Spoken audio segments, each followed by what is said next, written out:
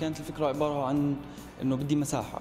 وما كنت شايفها أنا بالبعد اللي آه، الناس شايفينه. فحطيت الكتب على السيارة وسميتها كتب على الطريق books on the road باللغة الإنجليزية. آه وإجت الناس صارت تيجي على السيارة وصارت تهتم أكثر لأنه طريقة العرض اختلفت للكتب. وبرضه الهدف والقضية الناس حبوها إنه أنا عم بمول مكتبة ناشطة اجتماعيا بمادبه وواضح وصريح مع العالم.